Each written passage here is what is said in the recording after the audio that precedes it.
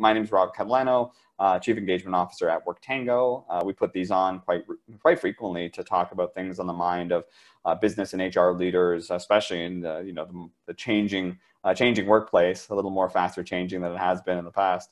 Um, but um, you know, my role today is to add a little bit of color, but really be the voice of everyone here. Um, someone just said, Rob, see you in my building all the time. We live on the same floor. Amazing. That's awesome. I have someone who could probably hear me uh, in surround sound from, uh, from the speaker and hear me personally. Probably not that far away.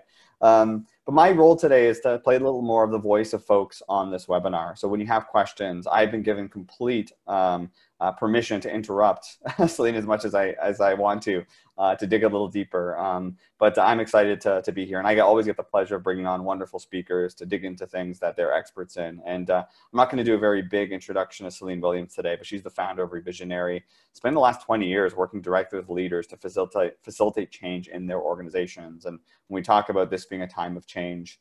Um, you know, uh, this is definitely one that we're looking into. Um, I've enjoyed our conversations and really excited to have her uh, her perspective on the topic today. Um, and one thing uh, that uh, that I found out just you know on she was talking to some of my colleagues that she really loves cats. Um, I think you're a big cat person. What I gathered there is that true? I do love cats. I have two, and and you jumped right into a cat conversation. It was great. Yes, I had my video and audio off, and I came back, and there was this whole cat conversation going, and I just sat back and listened, and then a big discussion on Tiger King came up. It was fantastic. Um, by the way, if anyone has any ideas of what I can, you know, binge watch on Netflix, throw it in the chat. Love to get some ideas. Um, so, uh, you know, well, this is basically the topic we're going to uh, to discuss today. And before I hand it off to Celine, this this topic is actually pretty near and dear my my heart when we talk about leaders. And it, it reminded me of a talk I did almost four years ago, um, where I started the conversation and the talk with this slide. And I always tell people you're right. This isn't English. So if you're if you're wondering what it is, it's not an English word. It's actually the Latin root words for the Italian word, a word called maneggiare. Um, so this is actually where the word manage comes from. Um, manus means um, um sorry, manus means hand, and agere means to act. So literally, the literal meaning of manage is using something with your hands, like you're using a tool. And that always made me beg the question: Are managers tools in our organizations? And and you know are they a good tool that can help drive success of your employees and your business especially through these times? Or are they a bad tool? Um, and i actually looked up that definition of bad tool and it's a fool that is characterized by low intelligence and self-esteem right? And, and, and think about that. That's actually some of the the way leaders are thought of in organizations. I just like this slide here. But but this is the um, this bad persona leaders have in organizations. And, and my biggest bug in my bonnet when it comes to talking about leaders and managers is that I don't believe we're doing enough to enable them in organizations, right? Enable them to be successful, especially at these given times. And I always liken leaders to the concept of a cog in a system. So think about your organization. On one end, there's your, your leaders making strategic decisions every day, whether you're in a crisis or not. Then your employees on the other end conducting these activities every single day. But without leaders in the middle to make sure that things are being translated, to make sure that people are understanding the needs, you know, if you remove leaders from the system, the cog kind of falls apart, right? You know, the whole system falls apart. And I just believe they're so important, which is why I was really excited to talk about not just what HR is doing for, you know, through the crisis, how is HR making sure we can get remote work policies in and all of that. It was really bringing on a, a you know, a leader in the space of enabling leaders and in a more specific way to lead them remotely. So um, that, I want to give that context because again, I think it's really important to make sure we have our you know our leaders involved in this process, especially you know uh, in in, in uh, parentheses there specifically in this time of crisis. Um, so with that being said, I'm going to hand it over to you, Celine, to uh, take it over now. And uh, as a reminder to people that have joined, I think another 40 people joined since we I started talking. Um, make sure you provide your questions and answers, and I'll I'll do what I can to interrupt and ask them where possible. So. So the floor is yours. Uh, so thank you. I actually want to talk. So something you brought up uh, has brought something to mind that I want to share, and it is I love what you were talking about managers, and it's the you know acting with your hand, and and I talk about this a lot, and I think it's valuable to share right now. Is I actually make a big distinction. I don't like to use. I recognize that the word manager is used a lot out in the corporate world, right? I get that And I only use the word leader for a very specific reason. You will not hear me say um, manager inside this presentation at all. And the reason I use that is that I fundamentally believe that we manage things and we lead people. And I am talking here specifically about the people side of this. That is my area of specialty and my focus. And so this is really about enabling leaders in the leadership of people because the th- managing the things is not the most important thing right now. And so I just I love that you started there and gave me a lovely thread to jump into this. Thank you, Rob. Love it. It was all set up and planned, that's for sure. um, so I do want to note that oh, I just went one. No, I did that right. Hold on. There we go. Um, so to I just want to um, emphasize what Rob said, and that is that please do ask questions and jump in I am not married to, you know, I've said this to Rob, I'm going to say to you, I'm not married to getting through the specific things that I want to talk about. If you're on this webinar and you feel like there's something that you want to dig into more and have questions about, I am very flexible inside of this. If we don't get to anything and you get the slides later and you have a question, you can email me. It's totally not a problem. I'd rather this is valuable to the people that are on the webinar now than not. Um, so I'll tell you a little bit about myself more about why this matters to me. So um, I have worked uh, it, almost 20 years now, not over, thankfully yet, but almost 20 years uh, with leaders directly in various ways. I've run businesses. I've worked in the corporate world. Um, I had a, I dipped my toe into HR for a couple of years, um, but I did a lot of change management specifically and facilitation of um, of large uh, bodies that made decisions on certain pieces of information that affected government bodies in Canada. So I've in, been involved with leaders from either me influencing them in a specific way, me leading teams, or me working with them depending on the role. And especially now in the last seven years that I've you know been a consultant and been an executive coach, my role has changed even more to be working directly with leaders and organizations on leadership and culture specifically. So there will be a bit of an overlap between the two because I think they are um, intrinsically linked. Um, the other thing I want to say is the reason that this is so near and de- dear to my heart beyond that is that I was working on teams that that uh, we called it telecommuting or dispersed teams um, 16 years ago. So for those of us that remember working 16 years ago, the internet was not as fast as it is now. The tools that we have, like Zoom, were not available. The, the you know the conference tools were basic at best. So I have been again, I've led remote teams, I've worked on remote teams, I've worked for remote leaders, I've worked, I've never worked in an office where everyone was in the same place at the same time after my first year of being in corporate. So I'm very passionate about this because I know the challenges that people are facing as well as the potential for what this entails. So I want to give you that context because I will talk to my experience and, and um, the people that I've spoken to and their experience, and there is still room for whatever your experience is in this in terms of questions and answers. So this is not, I do not have all of the answers. There's not one right way to do this. Um, I want to talk to how to enable you to make it as easy as possible for the leaders in your organizations. Um, and so there we go. Okay, so today we are going to focus on a few things. Um, we are going to start with the idea of what's so different about remote leadership anyway. I'll talk about remote leadership, which is valuable for HR to know in terms of dealing with the challenges that remote leaders are facing. And let's be honest, HR is now remote also, right? If for those of us that are actually still working, and I recognize there's not everyone who is still working, and that's not a reality for for um, some companies and some positions and some roles, but for most of us who are still working, we are remote, and that includes HR. And most HR teams, um, unless they are an entirely remote company, have not worked remotely either. So this is valuable for you because we are all leading in some way and HR does have a leadership role and also to enable the leaders in the organization to lead as effectively as possible. So I'm going to talk a little bit about rules of engagement, how they need to shift here, um, and how HR can help leaders navigate that change and that new reality. I'm sure you all have heard many webinars, many conversations about communication. I am going to touch on this a little bit because there are some new norms in the remote world and not and I want to be really clear.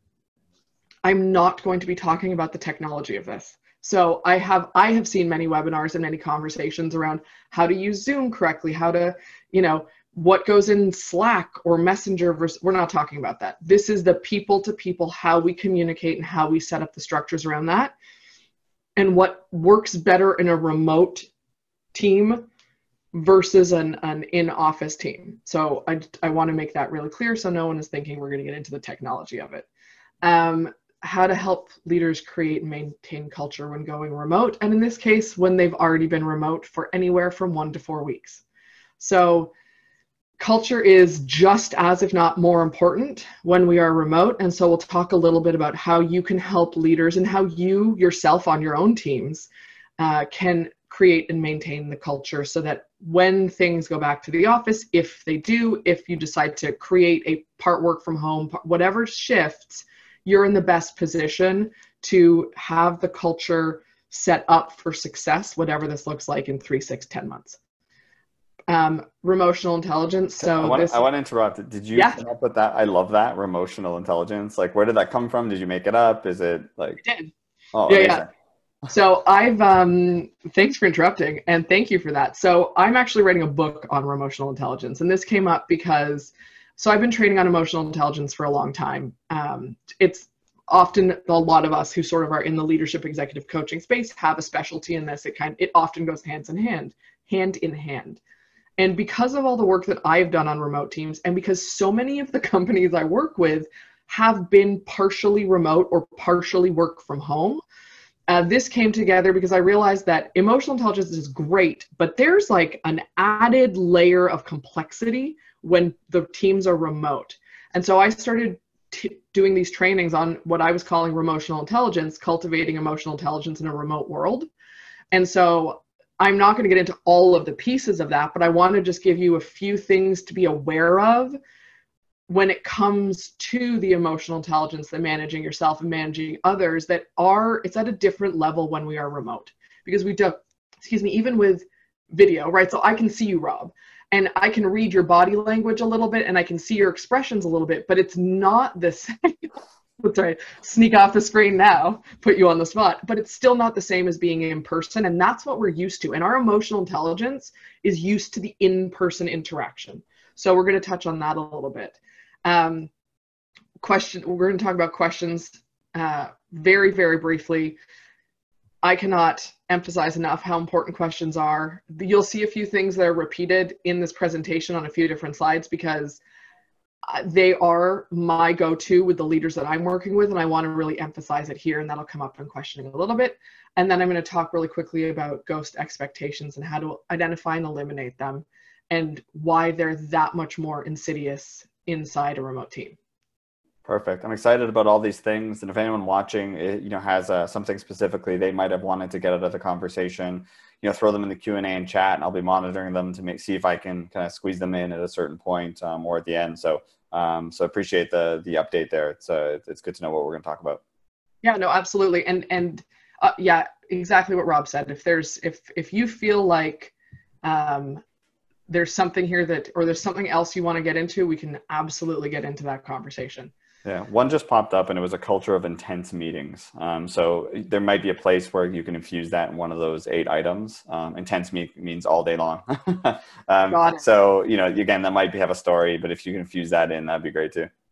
Um, yes, so uh, that's actually great, and we will. I will talk a little bit about that on one of the slides. I don't remember which one it is exactly now, but um, I will talk about that. And if I don't answer it or we don't get into exactly what your specific situation is, feel free at that point in time to add more context. Um, so thank you for that. That's a very good question. Okay, so here's the first thing with remote leadership that I want to get into, and that is this idea that um, I hear all the time. I was telling Rob this the other day. The probably the most common thing I've heard recently from leaders that I work with who are now running remote teams is that, well, it's not a big. I mean, leadership is leadership. People are just in a different place now. It's not going to make that big a difference. We're just going to do what we were doing. Just now, people are at home. That's not real. People are in a new location. I need to emphasize this. People are in a new location, and there are new rules as a result from as a result of that. It's not just we're doing what we were doing in the office, except now we're at home.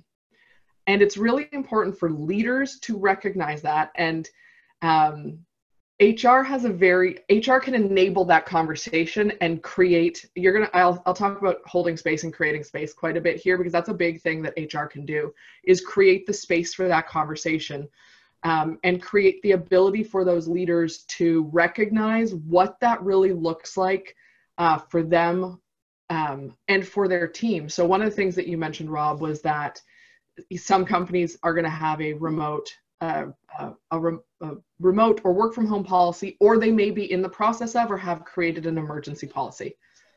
If you haven't, that is a very important thing to be working on right now. I fully recognize that.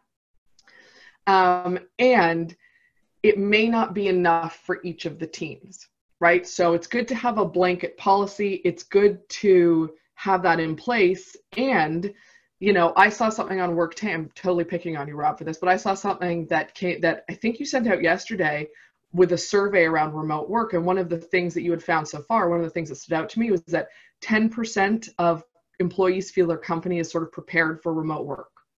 And I might be quote, I might be, I might have misquoted the exact language, but it's something around there that popped up last night. And I thought that's so interesting because that's not just the tools that we have. That's not just the overall policy, that's how they're feeling in their teams and with their leaders. And so this is where it becomes more than just let's create a um, remote work po- or an emergency plan, important, but then having that translated down to each team where it is recognizing the new rules for how that team functions is super, super important. And HR can enable that conversation, can base it on the um, on the policies that they are creating or have created to date.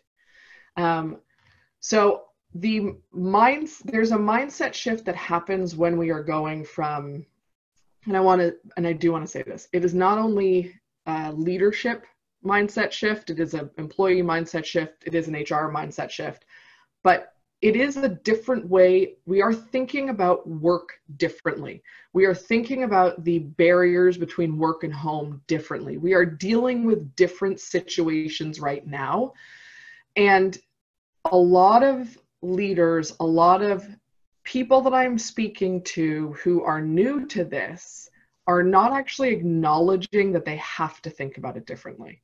So, because there is a crisis at play, we revert into um, what is the thing that's going to keep me safe? And those are the patterned ways of thinking that i that i already have. So the things that have got me to where i am right now i am going to really lean into those things that feel familiar because so much of what's out there is scary. So much of what's out there is unknown.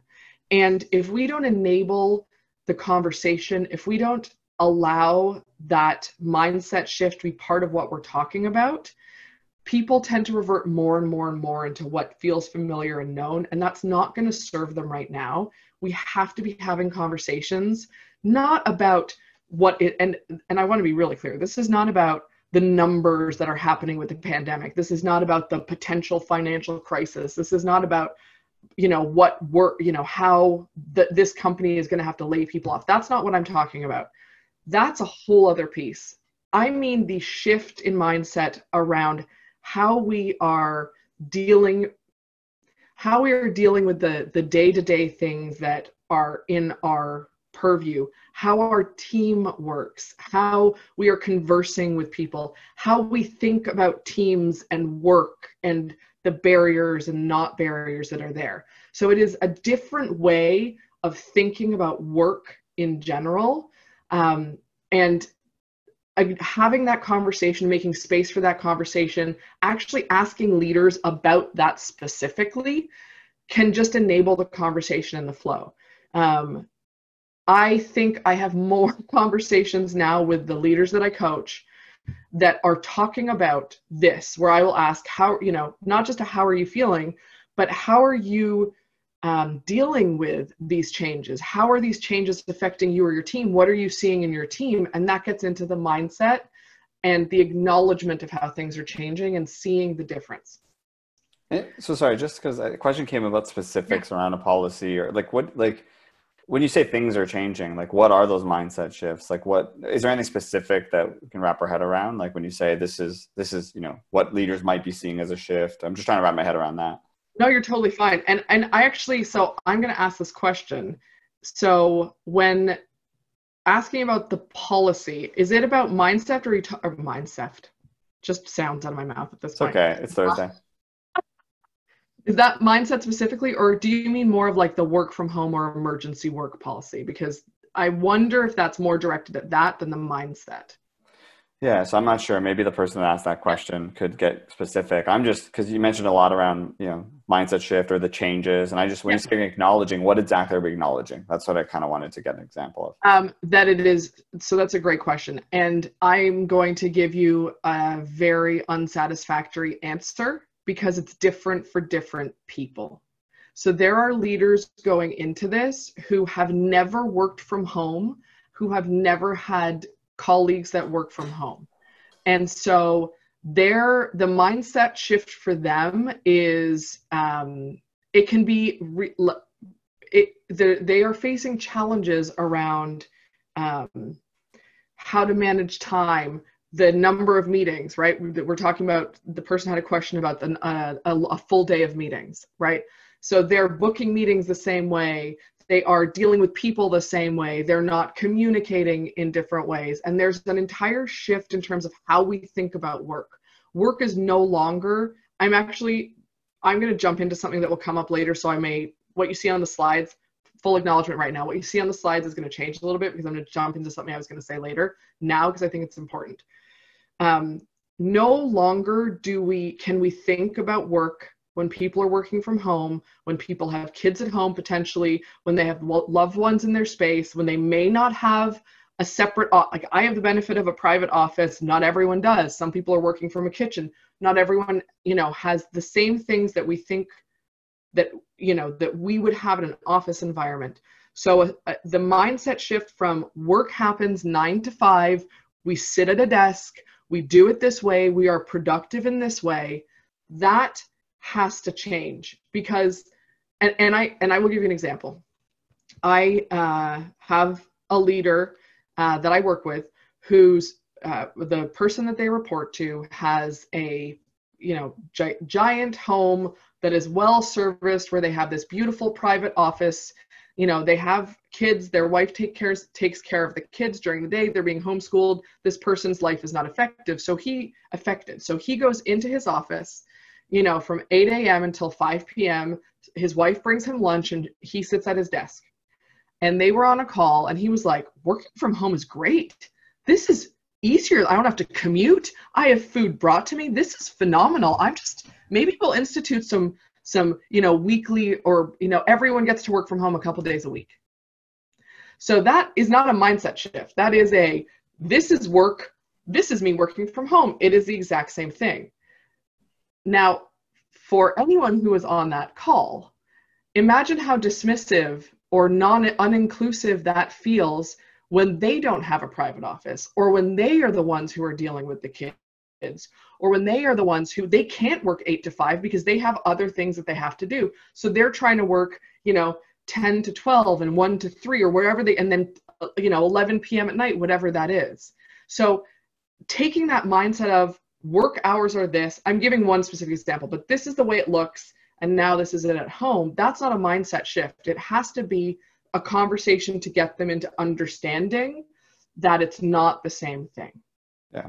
it's actually interesting, right? Like I, you know, I don't have children, nothing's running around. I have no other responsibilities throughout the day. And then Stephen, who's also on this call, one of my colleagues, has three beautiful daughters that, you know, now are doing schooling from home. And, and there's, there's things that happen. So I, I can understand the mindset, mindset shift from that perspective. Or I have friends that are principals of schools and their teachers have never taught from home and use technology to do so. And it's just a different world that they're in. So, um, so I appreciate some of the, you know, the kind of examples there. It's, uh, uh, just to get some kind of secret teeth into it.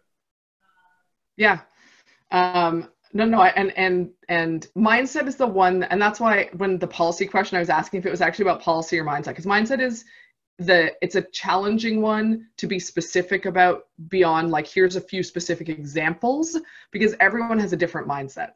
And the idea is to shift people into being more inclusive, getting into the inclusive, right? To being more inclusive, to asking a question, to, to allowing people the, the time and space to say, look, I appreciate that for the rest of the team, you can work from 9 a.m. to 12 p.m. But the way I have my life set up with my husband or my wife or my partner is that I'm taking care of the kids 9 to 12 so he can work or she can work or they can work and then i'm working in the afternoon because that's the only way we can make this this function so allowing people the space inside of the teams and inside of their the conversations to to be flexible to be inclusive of these things to shift the mindset so that a, a leader is not saying well that person's not working hard enough because it doesn't look the way it looked in an office okay does that yeah. does that make more sense yeah, no, it's helpful for me. And I know uh, someone asked a question about policy, and I know uh, in the chat there was an article kind of uh, added to that as well, if someone wants to reference it. So that might uh, add some additional color as well.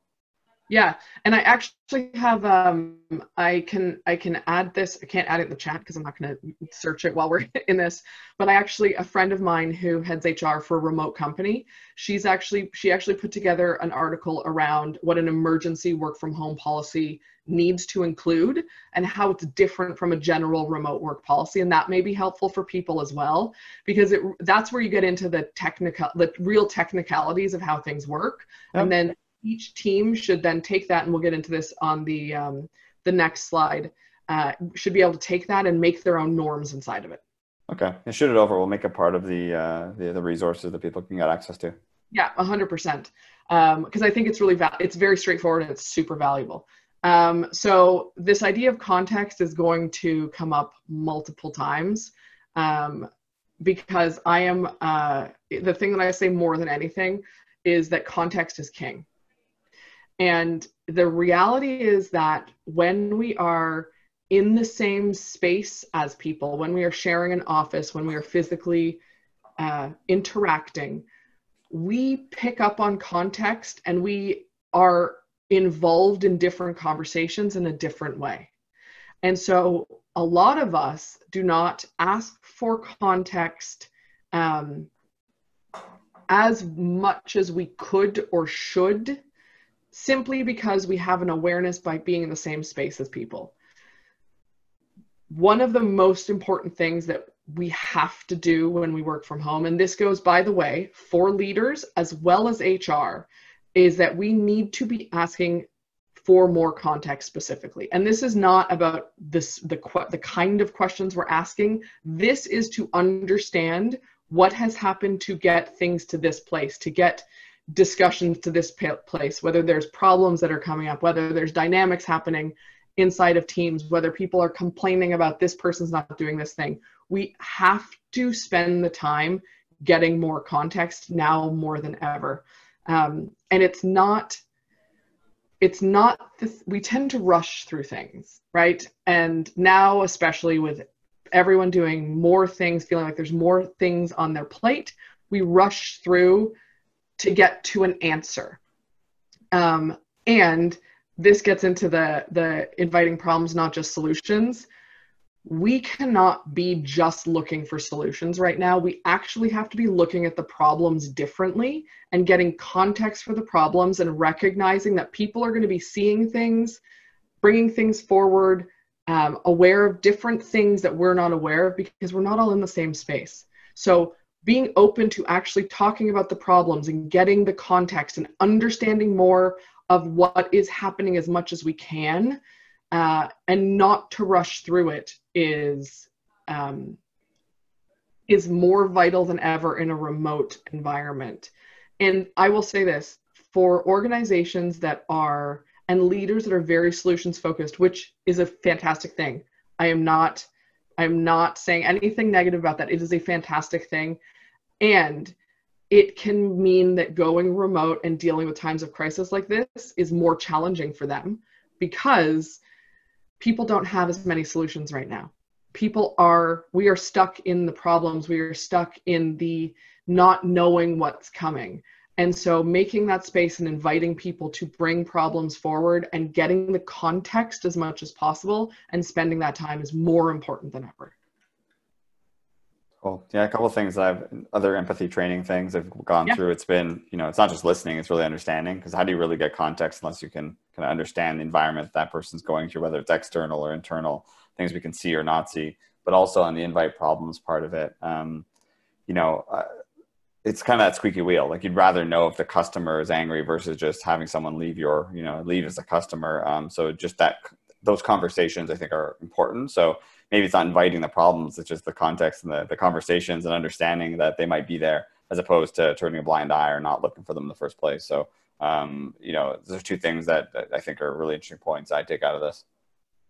Uh, and I appreciate that. And, and I use it and I appreciate what you're saying about uh, not necessarily problems. I, I do use that. I use that term on purpose because it's uncomfortable for people and it doesn't have to i'm not saying these are massive problems necessarily but we we are often and so many leaders are often you know they want the solution. Or you're going to come and tell me that thing is happening and here's three ways that we could address it. People may not have those three ways right now. You know what i mean? Like that's the thing is that this really is about making that space and, and keeping it open. And to uh, you know what you're saying about about empathy which i think is super it, it's really important. And the reason that context is separate from empathy is that empathy is trying to, if we're in a conversation, Rob, empath, my empath, if I'm being empathetic, I'm trying to understand you and how you're feeling. I'm not so worried about all of the context beyond you and your experience of it. Once I have done that, and that is a really important thing to continue doing, once I have done that, I also need to get more context and that is that and then it is and then it becomes the not just one like singularly focused but it becomes that systemic let's let's look at this the the interrelations and the and the systemic play of these things. Great. Yeah I have this on, on my other desk at the, other office. I have this uh, sign that says replace blame with curiosity right? So it's, it's not yes. this concept of like something's happening. It's like if i'm not understanding or getting that context then it's you know it's going to be tough to be empathetic. Totally um, so I want to jump into rules of and I and I warned Rob that I always put too much before we started this. I was like, I have too much information in here and too many things I want to talk about because this is my constant problem in life. So if this feels like I'm rushing through anything, um, again, ask a question or reach out afterwards because I I want to try and sort of touch on some of these key things as much as possible. Um, so rules of engagement. So this is where the um, this is when you have a work from home policy, they tend to be company wide, right? Whatever, emergency or not. This is more of a company wide, this is our sort of overall policy. I think of rules of engagement, and the leaders I work with, we use rules of engagement to be more for the team, how this team works together. So, overall company culture is super important. And then on each team, there's a subculture. So, this is like your subculture of how these teams work together. And HR um, a lot of the HR leaders that I have been speaking to recently are creating emergency work from home policies uh, and looking at potentially creating remote work policies that apply to the whole company, but then they're not taking the time or they're not, they, they weren't kind of looking at how each team is implementing and making it work for them. And I think this is a huge opportunity for HR to really enable the leaders to not just say, okay, this is it, and you know, this is the overall policy. There's no room for discussion and there's no room for us to play inside of it. HR can really say, great, this is the overall policy. And now what does that look like for you and your team? And how are you fitting that in? So a couple of things that become really important is, and I already touched on this, but the idea of scheduling, um, getting people involved in the process to say, here's when I'm most available for this, here's when I'm not av- available for this, here's what works best for me, here's what doesn't on each team individually. So they have a rule, they have rules of engagement for themselves. Um, daily check-in So uh, to go back to the person who asked about meetings, this is where I'm going to talk a little bit about meetings. So if what I if this isn't helpful or what you meant, please, as I'm speaking, you know, ask a clarifying question or touch on this. Um, so one of the I was speaking to a CEO a couple weeks ago. I was actually um, interviewing him for I'm doing a I'm putting together a series on leading through crisis. It's a conversation series, and I was talking to him about this, and we were talking about when his company went entirely remote. The biggest challenge they had was meetings the number of meetings that people were in, how they were communicating in those meetings. And we talked about what he has found um, to be the the most effective way of doing these things and, and, and, of running these meetings to minimize the amount of meetings that we're in because they were finding that they were in back-to-back meetings all day every day when they first went remote so the first thing was to do daily check-ins and that is um, once a day, beginning of the day, middle of the day, a time that works for people. It does not have to be 8 a.m. if not everyone is available at 8 a.m. because they have something else they're doing. So make it a time that works for the majority of people every single day. A 15 minute check in. Your team is on the phone together or on Zoom together, and you are, you know, everyone is okay. No one needs anything. Is anyone getting, is anything getting in your way from being able to do the work that you're doing? So Agile has a great methodology around this. You can look that up if you want to to to see how they run it. But a daily check-in is super important. I'm going to go one step. Go ahead, Rob. No, I, yeah, sorry. I was going to say it was because uh, just on the point of daily check-ins, a question came in and said we're following all the check-ins. How do we know when daily check-ins become too much as we continue to work? And and I was actually just going to respond to that. I've been doing daily check-ins in three different companies for 17 years like in my opinion, they never stop. Uh, and in the time of a crisis, um, especially at a team level, I mean, most of what I've done is company level. Um, you know, it's important for people to have that opportunity to connect and have everyone in one place. Uh, and that's the only commitment I ask from people is like just make sure you're there in one place for you know nine minutes or 15 minutes a day.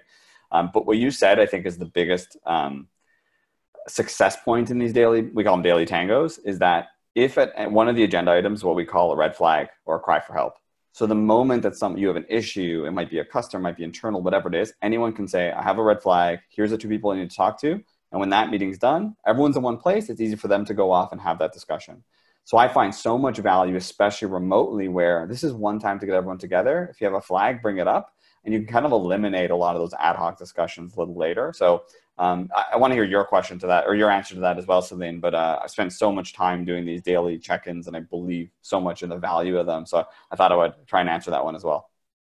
I 100% agree. I don't think it's a thing you stop doing, and I think teams that run in agile environments they do them every day, and they continue to do them no matter what because they are super effective. One of the uh, a company that I used to do some work with, their their and this may be an agile kind of standard i don't remember specifically it's been a few years but their their one of their agenda topics in every daily check-in was who or what is your rock so that is who or what is the thing that is standing in your way and in that meeting they could say you know my rock is rob and i need this from him. And they could call it for what it was and then it, and this is slightly different than what you're talking about whereas it's like here's a cry for help. I need help in this specific thing. But if it's like listen rob i need this approval from you and i haven't got it yet. You are my rock right now. You are now aware of it in a way that's not aggressive it's not personal it's not negative feedback but you can actually do something about it because it was that is a, that is an important thing that needs to get brought out so i think having structure around the check-ins is really important to what you're saying but to still have yeah. them every day I've been called worse things in Iraq, so I'm um, happy for that. Um, I had a couple people here that said they've started daily check-ins, um, but they're not pressuring people to join, um, which is you know great if it's a drop-in. And another comment said people that don't join, remember they might not just because they're avoiding it. They might be on another call. They might be doing something else. And sometimes we have people do you know check in their top one or make sure they're you know they wish they could be there. But that's a good point as well. Is there's it's kind of that uh, mindset, right? You think because people are absent or that they're doing something else or not wanting to be there, they might be taking care of their kid or you know or right. on another important call with a client so good point uh, on that one Yeah, and I think that's really important to be aware of, especially now that people are at home and things are different, right? Yeah. So, so that's why find that you know you want to find a time that works ideally for most people, and you have to be flexible and give them some grace.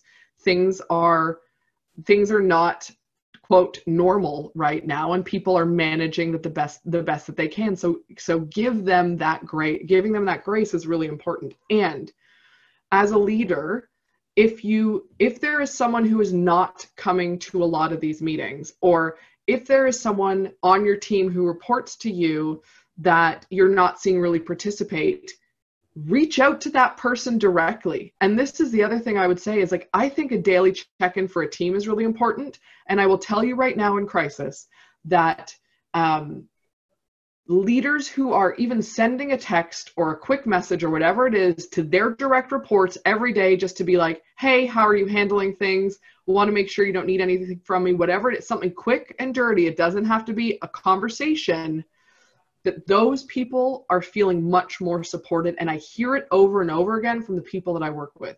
So having that and i get that in an it's this if you were in an office and your person was at the desk next to you when you walked by you'd be like hey how's it going? Good? Having a good day? Amazing. That is you're not you can't do that right now so actually putting a tiny bit of effort in to reach out and just make sure people are okay or they need anything from you or what it is to your direct reports goes a long way right now um, and I want to jump into this one-to-one or team meeting because this is the other thing that that um, you know I talked about with uh, Chris, who I was speaking about, and that is the idea that any one-to-ones that you normally have, right? Because whether it's that are normally on your schedule with the people that report to you, um, that you know, coaching calls, whatever you want to call them, those remain the same. There's no change in that. That cadence should not change please keep doing that. Those are important touch points for people. And what we need to stop doing with remote teams is if I need something from you, Rob, and Stephen, I'm, I know you're on mute, but I'm going to pick on you because you're the two names that I can see right now. So if I need, if I am doing something and I need information to share something with Rob and Stephen, I reach out to Rob, I set up a call with him, I have a 15 minute call or a half an hour call, and then I set up another meeting with Stephen to go over what I talked about with Rob. We are so used to exchanging information in this way that we do it even when we're working remote. And this is one of the reasons we end up feeling like we are on calls back to back to back all day. If you have something to discuss that is going to affect more than one person, you set up a meeting with all the people that it could affect. Full stop. 15 minutes. It, you have a set agenda. You're looking for a decision or you're giving information and you make it 100% clear. You do not book one to one meetings unless it is only that person who could be affected by what you're talking about. So that is a, again, it is a it's a change because we don't have the ability to step into someone's office or step by their desk and and have that conversation. Um, I want to. I'm going to talk about expectations and outcomes really quickly, and then we'll move on to the next slide unless people have questions. And that is one of the most one of the things that happens most when we go from an office environment to remote is that we think we are used to subconsciously, like it or not, the number of hours that someone is at their desk is a direct line to their productivity. We know what we feel like, and it's an illusion. We know what they're working on or what they're doing because we can see them and they're at their desk, so they're working. First of all, that's not real. But more importantly, when people are working from home, we don't have that. And this is where setting really clear KPIs, outcomes, things that people are working on, and then releasing how they get there and letting them do it without interruption, without micromanaging, becomes more and more important. And most companies don't actually do a good job of setting those KPIs and those outcomes specifically inside of the day-to-day things or the projects that people are working on. And so doing this upfront and doing this now and encouraging HR encouraging leaders and helping them create a framework for it, create a template for it, whatever needs to happen to make that work and reminding them that it's not just because they can't see people working doesn't mean they're not working is going to become a big part of the conversation right now and that's okay it's just important to be mindful of that Great. I want to be conscious of time. I know there's about 13 minutes. I want to make sure if there's things, specific things you want to get through, saying that that would be right, really great takeaways, etc. Um, I want to make sure you get to it. And there's also a couple other questions as well. So um, yeah. just want to be, be the time check guy here. Yeah, no, I appreciate that. Um, okay, I'm going to I'm going to do a really quick overview of communication. You can't communicate too much right now, and you can't be too transparent. And what I mean by that is you do not have to tell people that leaders do not have to tell people that they are struggling and life sucks and they don't know what's going to happen and and they're you know negative it's that's not what i mean by transparent however it is okay for leaders to say I don't know what this is going to look like in six months, and I'm doing the best I can, and I'm going to keep you informed along the way. I have a client who sent out an email, 5,000 person organization, and he sent out an email a couple weeks ago, and this was like, un, he just kind of wanted to put this out, and he basically acknowledged this is difficult times, things are changing. Here's what I'm struggling with a lot of unknowns. And here's what I'm really excited about, and I'm thinking positively, and I'm very impressed with how people in this organization are showing up. And I really hope everyone is doing okay, and this is what's happening. And to that email, he had over 600 replies in less than 24 hours. We cannot be communicating too much right now. And we cannot, that vulnerability and that transparency makes people feel like we're talking directly to them the more we can be doing that, the more we're going to be helping people feel like there's a community around them and feel like they're not in this alone, like we're in this with them. And that's really important right now for people's mental health, for people um, to feel some sense of stability in a time that feels really, really unstable.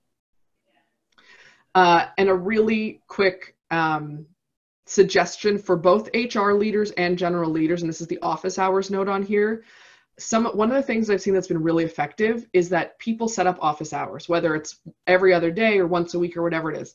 So HR says, you know, I'm available. An HR leader says, you say, I'm available this 90 minutes. I'm going to be in a Zoom room. If you have a question that can be answered in about 10 minutes, you come in. I lock the room. We have our Q and A.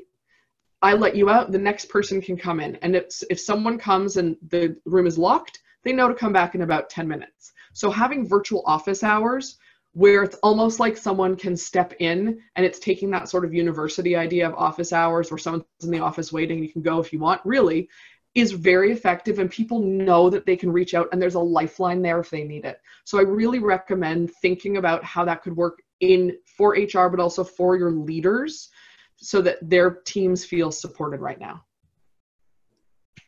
Great i'm just going to pause quickly just because um, there was an interesting question, and this might be a, a really easy answer and not so easy answer, but is emotional intelligence rooted in relationship intelligence? Sorry, can you say that one more time? Is emotional intelligence rude, rooted in, thank you for correcting that, rooted in relationship intelligence? Is it removed? Is it re- rooted. it's like Friday, don't uh, uh, it is, I mean, it's not in the sense that it is and it isn't right? Emotional emotional intelligence the whole concept came from emotional the application of emotional intelligence in remote in a remote world and specifically on remote teams. So relationship intelligence is going to be part of emotional intelligence. I don't think it's a i don't see it as a fully separate thing. I think they're all interrelated interrelated. Um, but what I've, you know, my concept of emotional intelligence and what I put together is not specifically from relational intelligence, if that, or relationship intelligence. Right. Kind of a marriage of these things. Um, okay, so I'm just looking at the time. Um, here's what I want to say about culture. Um, in difficult time, so when things are going really well, culture is easy it is. It just is. It's not a thing we really think about. I always talk about culture like a sandbox. So if you think about your culture as your sandbox with the, you know, wooden barriers being the outside of your sandbox, normal times, good times, happy times, everyone is playing in the sandbox together. There might be that group over there who's building a sandcastle, and there might be this group over here who's like digging to China, and there might be that group over there who's pouring water in and playing in the mud, but everyone is playing in the same sandbox together. Times like this test the sandbox. This is where people are picking up sand and throwing it out of the sandbox and they're dumping it over the edges because it's difficult and we don't, if things aren't explicit and we aren't really clear on what that looks like and we're running on assumptions and we're running on this is how things work without being explicit those barrier that that sand is going to end up out of the sandbox and so this is a time where teams even if it's not at an hr level but where teams can really be reinforcing and being explicit about what the barriers of the sandbox are and putting that into into play and into language um, and I really encourage HR to, and this goes back to the rules of engagement as well. I really encourage HR to help the leaders do that because it, it is vital in the best of times, but more important now than ever.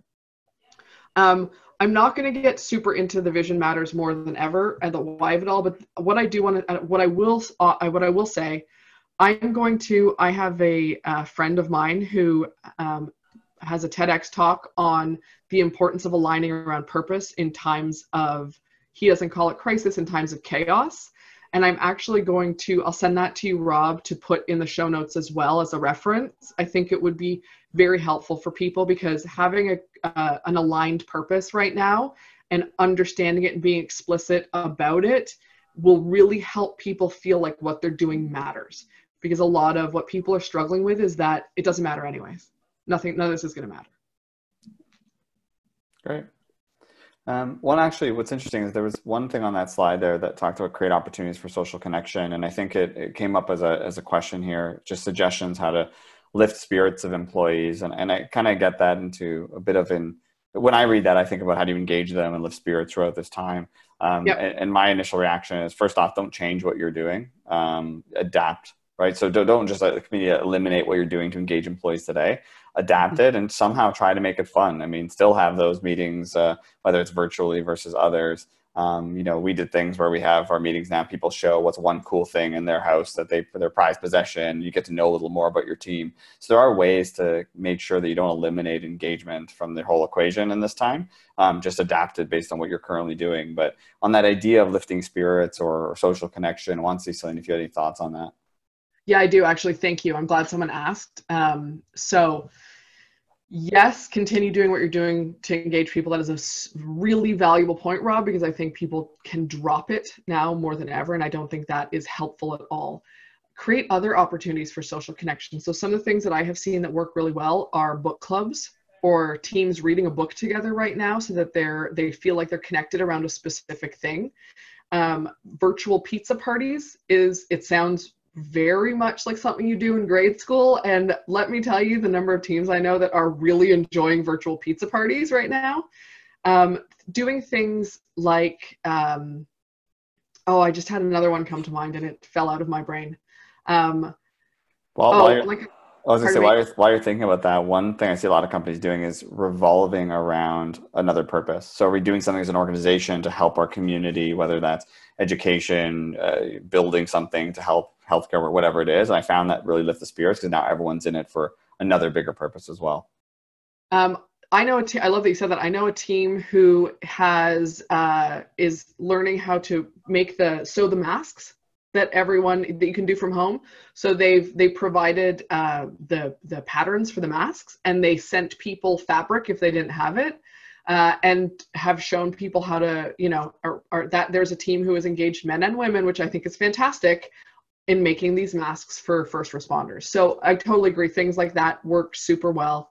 Um, one thing, a Monday morning coffee. So I know a company who is doing a Monday morning coffee at 10 a.m. There's an the Zoom room is open for an hour, and you can come in with your cup of coffee and just kind of chat. And they can do breakout rooms if people want to have private conversations, and that makes people feel like they're still connected. One thing you don't want to do is offer those things outside of normal work hours because there's already enough burden on people. So doing things like a happy hour after work, don't do that. That is not going to help people feel connected. It's going to feel like an, another thing they have to do after hours.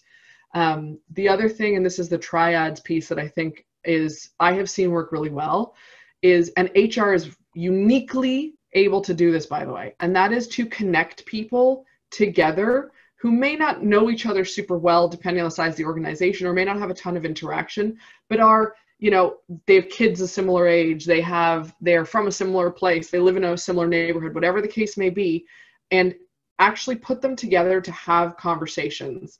15 minutes get to know each other feel that connection someone who they have something in common with they went to the same school whatever it is and and put them in groups of three so it's not a burden on two people to to try and keep this going and just for support and connection and that is working really well in a lot of the organizations that I have seen implement that. If you use Slack, there's an app called Donut that'll just randomly introduce you to a colleague, and uh, it's a good way to force conversation there. I love that you put said that because someone else was telling me about that recently, and I had not heard of it. So that is uh, that is a great one. Cool. Um, All right, you have a couple more minutes. What's the last most important thing that we we should talk about and uh, discuss? um, I am going to say I'm going to actually talk about ghost expectations. Skip all this stuff. I told you I was going to have too much time. I was going to have too much stuff. See, I know. um, so I'm actually going to talk about this because um, I think it's really important. So, ghost expectations are the invisible expectations that we place on people around us and things around us and especially when it comes to behavior. So they're often baked into the assumptions that we have about how things work or how we work or how people work. Um, we don't talk about them, they're not verbalized, they're not put into place, they're undocumented, um, but they drive how we think about how things work. In an environment where we are with people every day and where we're seeing people, there are lots of times and opportunities to disprove those ghost expectations or to quiet them down or to go and check with someone about like hey did you notice that thing over there? Is that a thing that is that is that you're aware of? Right? You can do it you have checkpoints in person. We don't have that as much when we are in a remote environment. We operate more from our assumptions. We operate more from these ghost expectations and they can be really really toxic and damaging in a remote environment because we are not taking the time to address them or bring them to life or talk about them or even acknowledge that they are there.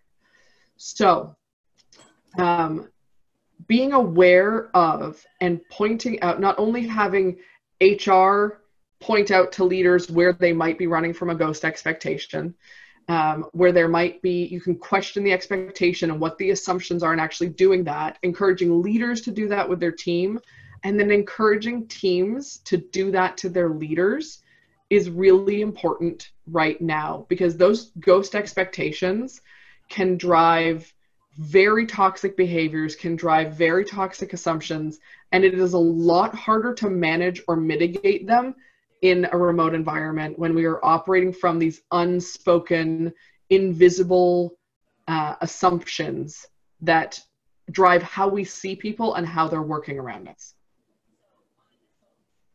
Awesome.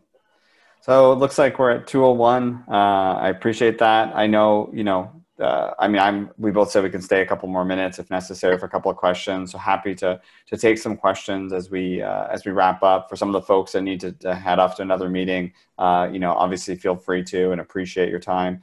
Um, so there were there were a couple of questions um, uh, about ghost expectations. An example of one, a common one. So just more specifically. Sure. So I'll give you a. Um I'll give you a common one that is less toxic when we're in person in a work environment that is a lot can be a lot more insidious in a um, when you're in a remote environment. So a ghost expectation can be something like if I send an email, I expect no matter if it's at 10 p.m. And by the way, I worked for a boss who was like this, so I will I will actually tell a story. I worked for a boss who this is back in the day for those of you who are as old as I am when Blackberries were a thing and he was like a master blackberryer and he would send an email at 10 o'clock at night with a question And he would expect, because as soon as I had a Blackberry, that I was going to respond to it within five minutes. Because he was a person who was constantly on his phone. So he had a, a ghost expectation that because I had been given a Blackberry and because I could respond whenever, because I had this at home, I was going to be doing it. And this was a ghost expectation that I was responding to. So I would do it because he never said this is expected of you. He never said these are the rules. But it just, he was so quick about it that I was like, obviously, I have to do the same thing. Obviously, I have to work a weekend. Obviously, I have to do this thing. Those ghost expectations, they're not great. I want to be fully clear. They're not great in a day to day environment. But when we have more of a sense of how people are working and what they're doing, they can slide a little bit more. Those ghost expectations driving behavior at home. So um, that you're still going to respond on a weekend, or that you're you're you're answering in five minutes when now you are also homeschooling your children when now you are also cooking three meals a day when now you are also whatever the case may be they become really toxic because we're not seeing what people are doing. We're not seeing the actual behaviors and what's happening around them. Does that make sense?